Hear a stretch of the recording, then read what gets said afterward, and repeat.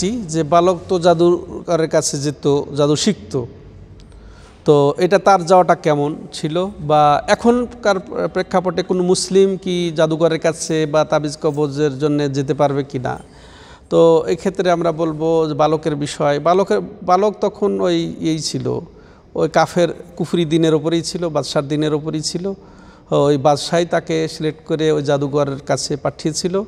তো তার ইমান তখন ছিল না, সে তখন তাওহিদ বুঝতো না, রব চিনত না। তো আল্লাহ চেয়েছেন যে তার মাধ্যমে আল্লাহ খেদমত নেবেন তার দিনকে প্রচার করবেন এভাবে। তো এই কারণে পাদ্রির আল্লাহ রব্বুল আলমিন সাক্ষাৎ মিলিয়ে দিলেন। ওই পাদ্রির মাধ্যমে সে তাওহিদ বুঝে তার রবকে চিনে। হুম, তাহলে আগে সে কুফরির ওপরে ছিল, তা সে এই কুফরি শিক্ষা নিতে যাচ্ছিল, এটা তা সেটা ছিল ওই সময়ের জন্যে। কিন্তু যখন সে কবুল করেছে, তখন তো সে জাদুকরকে ছেড়ে দিয়ে যা ঘটার ঘটলো, যেগুলো আপনারা শুনলেন। কিন্তু এখন কোনো মুসলিম হ্যাঁ জাদুকরের কাছে যাওয়া নিষেধ জায়েজ নেই, এটা কুফুরি হ্যাঁ কেউ যদি জাদুকরের কাছে যে বিশ্বাস করে। এখানে বিশ্বাস বলতে আমরা অনেকে কেন জানি ধোকা খাই? কেউ বলে জাদু টাদু বলতে কিছু আছে নাকি? এটা জাদুর অস্তিত্বকে অস্বীকার করে। এটা জাদুর অস্তি- অস্তিত্বকে অস্বীকার করাটাও কুফুরি। খুব বেশি ইমানের ইয়ে দেখায় যে জাদু টাদু আমি বিশ্বাস করি না জিন ভূত আমি বিশ্বাস করি না। এটা এটা কুফুরি কথা। জিনও বিশ্বাস করবে না, জাদুও বিশ্বাস করবে না। বিশ্বাস এখানে তাহলে দুই ধরনের। এক কি যে জিনদের অস্তিত্ব আমি বিশ্বাস করি না, কুফুরি? তো জাদু জন- জিনদের মা খালাক্তুল জিন্না বল ইনসাইল্লা আবদুন জিনরা আগে অস্তিত্বে এসেছে। মানুষের। তো কেউ বলে, যা, জিন ভূত, আমি বিশ্বাস করি না। এরকম বলে কি না? কিন্তু হ্যাঁ আপনি যদি বলেন যে, জিন ভূতের কি কি বিশ্বাস করবেন না আপনি? অস্তিত্ব তো মানতে হবে। যে ওর কাছে যাইয়া যে কিছু নিতে হবে, এটা ঠিক আছে।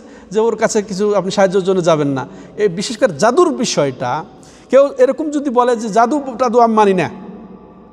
মানা না, এটার ব্যাখ্যা আছে। যদি বলেন যে, জাদুর অস্তিত্বই আমি মানি না। জাদু বলতে কিচ্ছু নাই, এটা কুফুরি।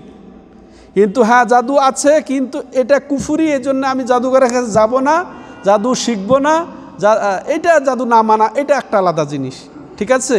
তো কেউ যদি জাদুঘরের কাছে যায় এবং বিশ্বাস করে, সে যা বলল, যে তোমার এই হবে, তোমার ওই হবে, এই হবে, ওই হবে, ওই সব এইসব খবর দিল আর সে বিশ্বাস করল, তাহলে সে ফাকাত কুফেরা ফাকাত কাফার বেমা উজিলা আলা মোহাম্মদিন সাল্লাহ সাল্লাম নবী বলছেন যে মোহাম্মদ সাল্লাহ সাল্লামের উপরে যা অবতীর্ণ হয়েছে, তার প্রতি সে কুফরি করল। কারণ মোহাম্মদ সাল্লাম তার সতর্ক করেছেন। হ্যাঁ আর সে তার কথা বিশ্বাস করে। তো এটা তার কাছে গেলে আর এক হাদিসে এসেছে যে তার চল্লিশ দিন হ্যাঁ এবাদত কবুল হবে না। ঠিক আছে? এটা ভয়ানক। তো জাদুর থেকে আমরা সতর্ক হব। ওই তো আমরা যেন বেহুশ না হয়ে যাই। বিপদে পড়লে হ্যাঁ বিপদে পড়লে বেহুশ হয়ে যেন কোনো জাদুঘর আর জাদুঘর নাম না দিয়ে মুসলমানদের মধ্যে ভেষধারী অনেক জাদুঘর আছে। হ্যাঁ কবিরাজ নামে। হ্যাঁ আপনাদের ওই যে নোয়াখালী দিয়ে বলে খুনকার হ্যাঁ ওগুলার নামে অনেক জাদুঘর আছে।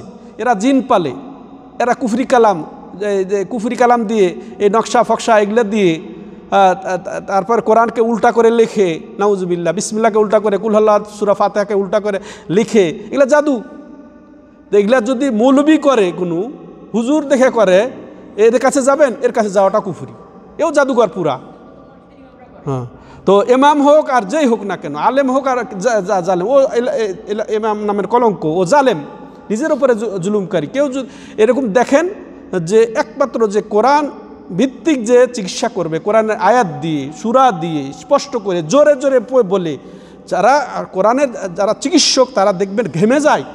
তারা কোরআন পড়তে পড়তে পড়তে ঘেমে যায় তারা, ক্লান্ত হয়ে যায়, অসুস্থ হয়ে যায়। জোরে জোরে পড়ে তারা, বুদুর বুদুর করে না। হুম তন্ত্রমন্ত্র পড়ে, তারা তারা গুনগুন করে। কিন্তু যারা আসলে কোরআনের চিকিৎসা করে, সুরা ফাতেহা পড়বে আপনার সামনে। তারপরে আয়াতুল কুরসি পড়বে, সুরা বাকারার শেষ দুই আয়াত পড়বে কুলহলা নাহাজ, কুল ফালাক এগুলা এগুলা পড়বে তারা।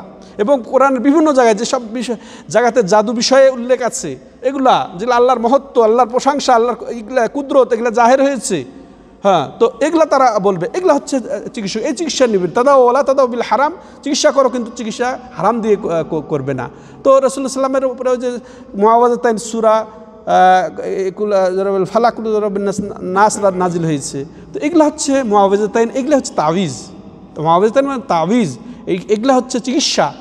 হ্যাঁ এগুলা, এগুলার মাধ্যমে আপনি আল্লাহর কাছে আশ্রয় পাবেন। তো এছাড়া যেগুলা আমরা দেখি সমাজে, এগুলোর কাছে যাওয়া যাবে না। আপনার ওই চিকিৎসা, ওই সুস্থতা দিয়ে কী করবেন? যে চিকিৎসা দিয়ে আপনার ইমানটা নষ্ট হয়ে যাবে? কি দরকার আছে? তো আল্লাহ আলাম। হাদা ওসল নবীনা মাহমদ আল্লাহ আলী আজমিন সুবাহ